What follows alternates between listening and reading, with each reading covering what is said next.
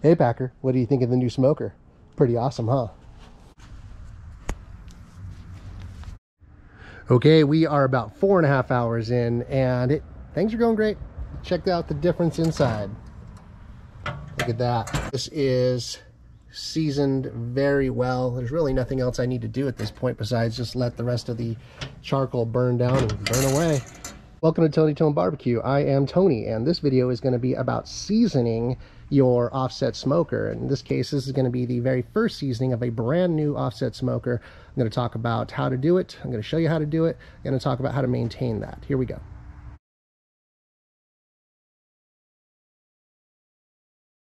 I want to say a huge thank you to all my subscribers. At this point, I have over 5,000 subscribers. I really appreciate you very much. I get tons of questions on the daily basis of uh, different things regarding how to operate an offset smoker, barbecues, grills, all this stuff, and it's a lot of fun. I enjoy answering your questions. Thank you so much for watching this. Thank you so much for liking my videos and continuing to leave comments and ask questions. And I always do my best to try to respond as quickly as possible. So thank you so much. All right, so what we're working with today, this is a Char-Griller Grand Champ XD, brand new, just purchased this. You can uh, go to the chargriller.com website, I think that's what it is, uh, or just Google search Char-Griller grills, offset smokers. You'll find them. I believe you can uh, purchase these at Home Depot. I picked this one up at Home Depot, uh, paid $549 for it. I also bought a cover for it. This is my first uh, day with it, and I am seasoning it. And I just want to say this is not a paid promo by Char-Griller. Um, as a matter of fact, I don't even like doing paid promos. I've been uh, offered opportunities to do promos. Um, I really don't want to do that. I kind of feel like a sellout if I start doing promos. So um, what I do like to do though is I like talking about tools that I find that work really, really great, that's uh, good value, that uh, you, you, know average people can get. Um, this one for at $549 still in reach of a lot of for a lot of folks. Um, I have another Char-Griller uh, smoking champ that was 200 bucks when I bought it. Uh, it's now I think $300 at the Home Depot. And um, so but this one big heavy I'm really excited to get to use it get to know it. I don't know how it's going to perform but I have a good feeling it's going to do great. It's big it's heavy. Um, so far I'm loving it. So um, here we go okay Okay, this is what this offset smoker looks like right now before it's been cooked in, before it's been seasoned. It is uh, just, just assembled. You can see it's kind of a little, little sticky, a little tacky all over from the light coating of oil that was put on by the factory. Uh, inside, it is totally clean. We've got this little charcoal basket here. I'm just going to get that out of the way. And no anything there, just clean surfaces bright and shiny. All that's going to change pretty soon. We got this upper cooking grate. And we've got the main cooking grate here. And down below. All clean and shiny metal. We're going to want all this to be seasoned, well coated, so that it is protected. What is seasoning? So seasoning is simply to create a protective layer on the surfaces of your offset smoker, your charcoal grill, whatever it is your that your outdoor cooking appliance is. Why do we season? Well, number one reason is to protect it. Protection. Protect from what? Mainly rust. So that's why we coat the inside and the outside and this uh, protective layer will prevent rust from forming on exposed metal surfaces. They're not exposed anymore. The other reason why we do it is because when these things come from the factory, they come coated with a, with a layer of oil on there. And you want to make sure you basically burn that stuff, bake that stuff into the onto the metal so that you don't have these weird flavors, this weird taste, the chemical taste uh, on your food when you do go to cook. That's it. Seasoning also helps prevent things from sticking to the different surfaces to your grill and whatnot. So the first thing I'm going to do is I'm going to light up this chimney full of charcoal and I'm going to use this charcoal to do the seasoning of this offset smoker and you can see it's sitting here on my older offset smoker that I've had for many years. This is a Char-Griller Smoking Champ and you see the inside of this. It's nice, black, no rust, in really good condition. Even the outside looks great, no rust. That's because it has been seasoned properly and I regularly re-season it with pretty much every cook. So how do you maintain the seasoning of your offset smoker or whatever? So uh, every now and then you can repeat this process. After you give it a little cleaning, uh, you can reapply oil and get it hot again and season it just like you're doing for the very first time. Uh, also, you can apply oil right before you do cooking and, um, you know, light coating and let that bake on as you're doing your cook. Also, as you're cooking, oils and fats are going to be dripping off the meat that you're cooking and it's going to be getting onto your grates and you know, to the rest of the smoker, and that is also going to build up on there and continue to season it as you cook. So typically, I find that on um, on my rigs, uh, I don't clean them aggressively. I just scrape off the loose stuff and let the oil from the end of my cook stay there until the next cook. And then that way when I fire it up and do the preheat all that stuff bakes onto the surfaces and I'm continuing to re-season. I actually never really do this whole process over again where I completely coat everything and re-season it because there's really no need Having said that, if you do occasionally do a really thorough scrubbing where you get in there with, I don't know, detergents or whatever and scrape everything clean to where it's like bone dry, then you're definitely going to want to re-season it and uh, make sure you coat everything and bake all that on there before you just leave it uh, to start to rust. Okay, while the charcoal is over there getting lit up, we're going to go ahead and start prepping this for the uh, seasoning process. And uh, all it's going to be is actually, it's a really, really simple thing, okay? All you need to do is coat the inside of your offset smoker or your grill or whatever it is you're seasoning with vegetable oil, okay? I prefer using peanut oil because it has a really high smoke point. So when it bakes onto the surfaces, it creates a really, really durable coating. And um, I like to apply it with a spray bottle like this one I picked up from the Home Depot. Um, I to make sure that it gets applied very easily, I actually heat up the uh, peanut oil that I have in here. I got about a cup and a half of peanut oil, and I heated it up for about a minute and a half. So it's it's pretty hot. So it'll spray nice and easily. Of course, you can brush it on, you can wipe it on with a towel, with paper towels, whatever you want. Uh, but what you want to do is make sure you coat everything really nicely. So that's why I like the spray bottle. Set that there. Take this grate out. Set that aside.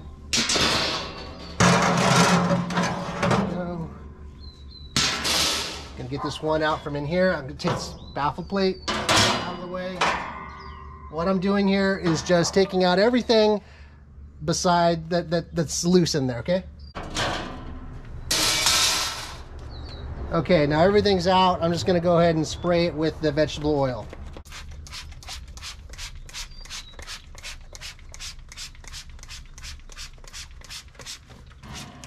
Don't be afraid to get a little messy. If some of the oil gets around the outside, uh, starts dripping down anywhere, that's okay. The more the better, okay? Later on, as the inside of this is baking all this oil onto it, we are gonna wipe down the outside of the smoker with the oil as well. Getting the inside of the lid, not worried about the overspray, just getting it everywhere. Okay? We're gonna do the firebox too. Same thing. Gonna go ahead and open this door and take the grate out, set that aside, spray the inside of the firebox.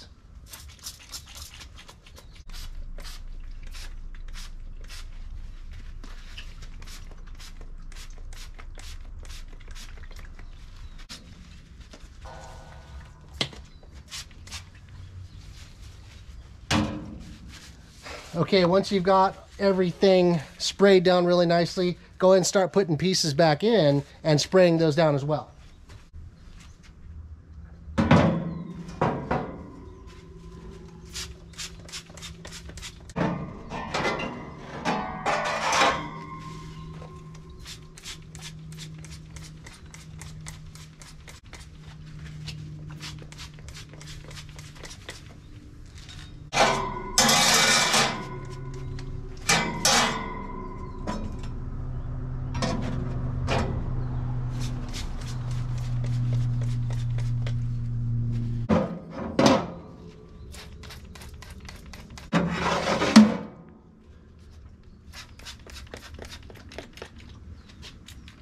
Okay, at this point, I'm not going to put those grates in yet because I need to get the hot charcoal in here first. So when that charcoal is ready, here's what I'm going to do. I'm going to put some of it, maybe a little less than half, in the main firebox over here, in the firebox. And the rest of it, I'm going to put in the main cooking chamber. And I'm going to kind of spread it evenly across here. And I'm going to get that going. Okay, the charcoal is now hot. We can go ahead and get this added to the smoker. You can go ahead and dump most of it in here.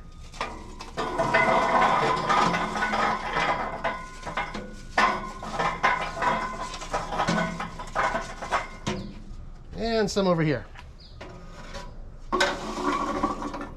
There we go. And I'm gonna arrange it so it's kind of nicely spread across the grate here. Same thing over here.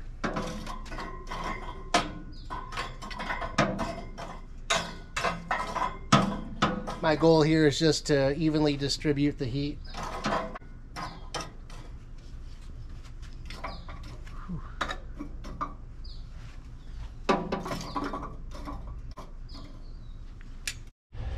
Okay, as you can see here, we've got the charcoal in. It's hot, putting a lot of heat over here too. What we're gonna do is uh, it's gonna go no, make sure the smokestack is is open here, and uh, close this up. Close this one up too. And make sure that the vent over here is wide open. And let's get that closed. There we go. And while this is heating up, I'm gonna go ahead and get those grates, the cooking grates, oiled. And I'm gonna get these in here right away too. You see the temperature is climbing pretty quickly there.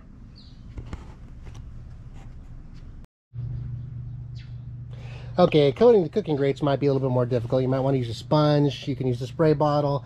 Um, but uh, I just laid them out on some plastic here, hosed them down with a spray bottle, and kind of wiped them around a little bit with a towel. Going to get those in here.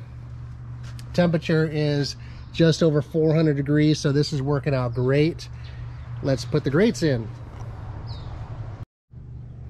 Okay, we've got the grates in. And those are going to heat up and cook and in this process it's going to take a couple hours uh, if you want. It's, it's, actually a really good idea to do this. Uh, after about 20 minutes or so take each one of these grates out recoat it put it back in. They're going to be really hot so you got to use the tool to grab them with and some high heat barbecue gloves and then carefully apply the oil but you want to make sure you get a really good coat of oil on these grates. Also as you're using this in the future and cooking things on it, you're going to be dripping a lot of uh, fat, rendered fat oil onto these grates from the food you're cooking. Also, maybe sauces and whatever else you're cooking with. That stuff is going to bake onto those grates and is going to naturally season them as you cook. So, you know, I'd be careful with the cleaning. Maybe uh, don't scrub them too much. Don't clean them too thoroughly because coating all that stuff on there and cooking it on there is actually a really good thing for them. Okay, I'm to close this back up and let the process continue. Now for the outside. Okay, for the outside, you might want to use an old pair of thick leather gloves or some high heat gloves or something for this part because uh, the outside of this thing is going to be a little hot. What you're going to do is take a towel, soak with some more of that vegetable oil. Uh, I like to use a terry cloth towel or these. This is those really heavy duty uh, shop paper towels. And as this thing is hot, all you're going to do is start wiping down the outside with the oil and just let that bake onto the surface. And it's going to give the exterior a really nice, pretty black appearance. Um, but at the same time, and more importantly, it's going to season the outside so it will too be protected from rusting out. It'll paint, protect the paint, and keep this thing looking really good for you uh, for the long run, okay? Okay, during this process, if your temperature starts raging out of control like mine is, over 500 degrees, that's uh, about 100 degrees hotter than I really want it to be. Very simple fix, okay? Just go ahead and close down your exhaust and close down your intake. and that charcoal that's burning away in there, I'm gonna close them way down to like 10% open, both of them. That charcoal that's in there is just gonna calm down. If you need to close it down even more, just go ahead and do that. And then when it gets closer to where you want it to be, just kind of start opening it up a little bit until you start seeing the temperature uh, stabilize. But by choking down that airflow like that, the charcoal is gonna start burning much cooler and your temperature is gonna be right back where you want it. And sure enough, a few minutes later, temperature's coming back down, holding uh, just above 450 right now. But uh, still got it choked off and temperature is coming down to a safer zone. All right, so it's been about an hour and let's have a look at the progress and see where we are, okay? So inside here, it's kind of hard to see with the sunlight, but uh, you can see that these grates are taking on a nice bronze tone here. They're still looking a little bit oily. There's still a lot of wet oil that needs to burn off and bake onto the surface there. Down below, you might notice I've added more charcoal. I did that very easily by using this tool here to lift this grate up and I slid it all the way back to where it catches right here on the end and then I just set it there and then I carefully added more directly to the existing coals before they burnt out using my tongs so I've got a nice bunch of coal in there. It still has a long way to go burn uh, off. Close that back up. There we go. And notice here the lid, also turning a nice golden bronze. I can get a decent angle here. There we go, block the sunlight a little bit. And that oil is baking very nicely on there. And the rest of the surfaces. Let's have a look inside the firebox. I added more charcoal inside the firebox as well. Also, baking on nicely in here. You see there's actually some pooled up oil down over there. It's going to take a while for that to cook off, but uh, we're getting some smoke coming out from, from that as it uh, burns away. It's going to take a while. So we're going to just keep this going. The outside might also be able to tell here that it's been completely wiped down. I mean, all the surface, all sides, even the legs, everything I wiped down with oil. I ended up using just a terry cloth, uh, washcloth, and just wiped everything down good. And it all looks kind of shiny and wet right now, but as the surface stays nice and hot, it's going to slowly bake on there as well and have a much more even look a little bit later when it's all done. And those grates, once they dry up a little bit more, I'll take them out, recoat them, put them back in. So we are over two hours into the seasoning process. Things are going great. I know some of you might be wondering why I'm using charcoal for the seasoning process instead of lump coal or wood, which I could be using. And uh, well, the reason for that is because charcoal is really easy to manage the temperature with. This is holding at 400 degrees. It's been at over 400 degrees for the entire time. Like I said, we're about two hours in.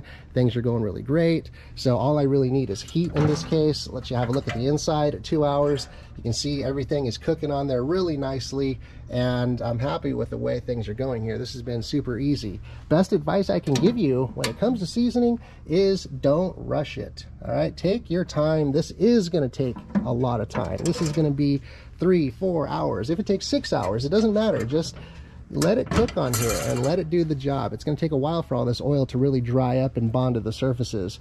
I coated the entire thing and you can start to see maybe from other shots that I've seen here um, that things are starting to dry up. It's not as shiny and wet looking in some spots. That's because the oil is, uh, you know, the chemicals have evaporated, is leaving the hard deposits on the surfaces, so it's doing a nice job.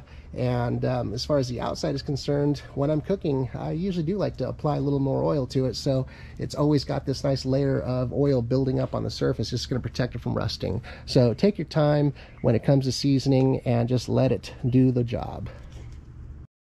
I took a peek inside the firebox here, and it looks like the uh, pile of charcoal is starting to dwindle down a little bit. I want, and it's still looking a little wet in a lot of places. So I'm gonna go ahead and add some more charcoal on top of this little bit of charcoal that's left here and uh, keep this going for a while longer. Okay, as you can see here, I got the grate pulled out and I did add some more charcoal down in the main cooking chamber here as well. And I'm gonna, that's gonna catch on fire by the rest of the charcoal keep this seasoning process going. I thought this was kind of cool here. You can see these grates here. I've coated a couple times now with a little extra oil. They're looking really, really awesome. And thought this was kind of neat here. The, notice here, this slides in and out a lot more easily than it did before because the of the coating that's being created on these rails here. And uh, it's just nice and smooth now. Make it a lot easier to get these in and out when you want to when you're cooking. So this is working out great. Let's go a while longer so one of the nice things about not doing paid promos not like uh, you know becoming an ambassador for Char-Griller or anything like that is that I'm not beholden to Char-Griller products. You know, Char Char-Griller I think makes a lot of good stuff. There's some stuff they make that I that maybe not so good. I don't know, but uh, for example, this uh, charcoal chimney starter here is uh, Weber, and uh, as far as I'm concerned, it's the best one on the market. Char-Griller also makes a charcoal chimney starter, it's good, um, but I think this one's better. So that's why I use this one. So there you go. By the way, if you don't know what a charcoal chimney starter is or how to use one, make sure you subscribe to my channel and check my videos. I do have videos in there specifically about uh, what it is and how to use it. Okay, we are about four and a half hours in and check out the difference inside. Look at that. All the grates are now looking nice and dark. A lot of the, there's not much wet oil left. Everything is uh, drying up on there really nicely. This is seasoned very well. There's really nothing else I need to do at this point besides just let the rest of the charcoal burn down and burn away. And there's a firebox, nice and dark, very well protected, and the outside's looking fantastic also.